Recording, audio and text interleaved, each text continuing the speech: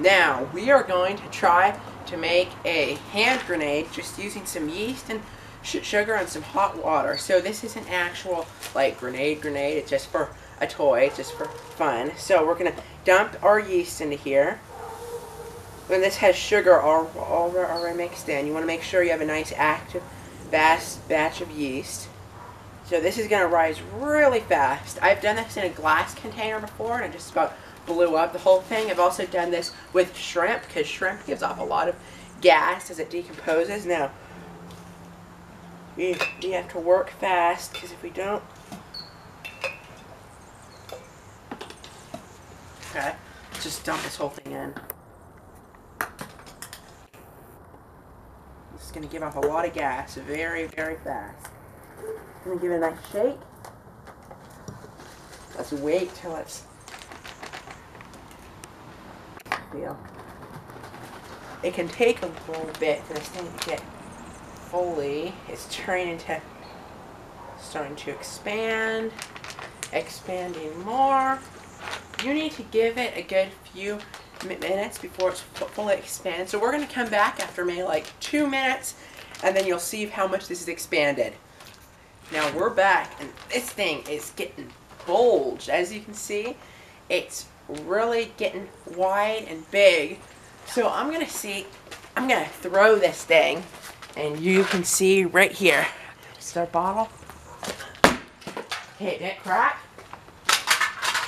I'm gonna, oh wow, this thing's getting huge. Okay, well, let's see. Maybe if I just chuck it like, okay, let's see. Let's do an even cooler way. I'm just gonna throw this thing up. Come on. It's holding on. This thing's getting huge.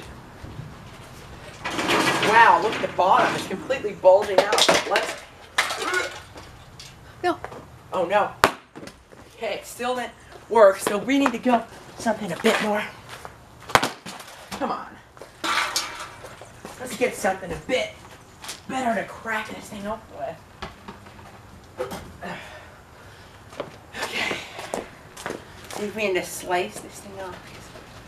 Sometimes, you just let it sit for long enough, it'll explode by itself. I can hear it start to spew. Once it does that, you need to work fast. Whoa, okay, this thing's cracking. I should. Come on. Okay, let's just slice this thing. oh,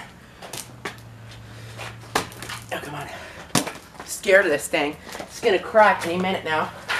Uh oh, it's spewing out. What? This thing does not want to go. Whoa! Oh my god, that was uh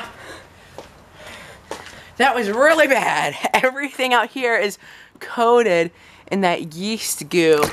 If you can see. Right here, that's coated in yeast.